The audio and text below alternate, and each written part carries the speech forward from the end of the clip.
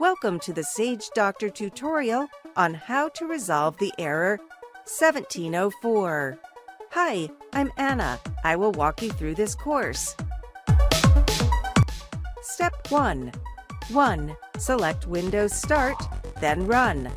2.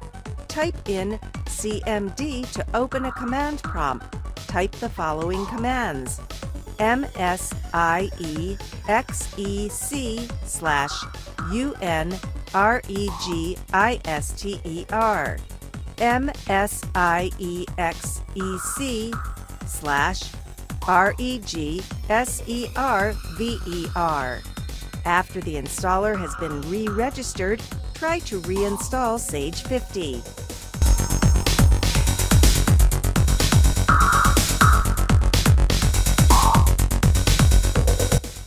A backup of the registry. Select Windows Start, then Run. Type regedit in the open box, then select OK. Highlight My Computer or Computer. Select File, then Export. Select All in Export Range, then choose a location to save the registry backup. Step 3. Select Edit, then Find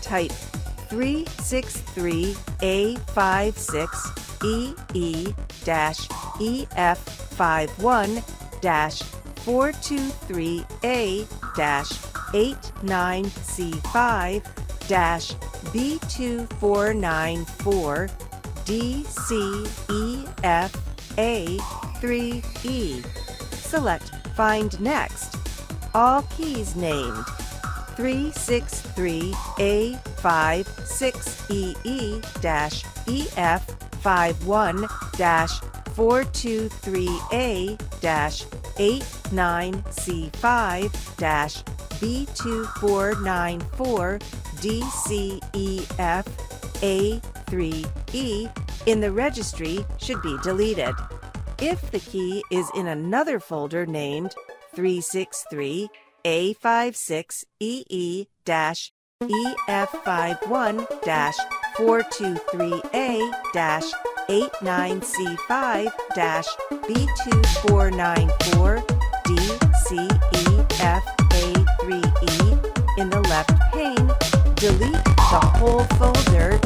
363A56EE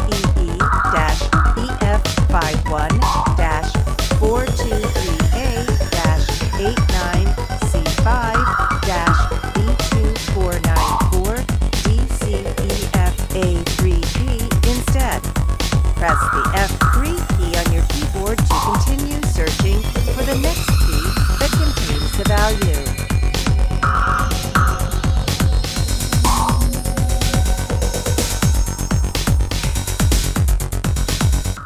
Hope you learned something new in this video.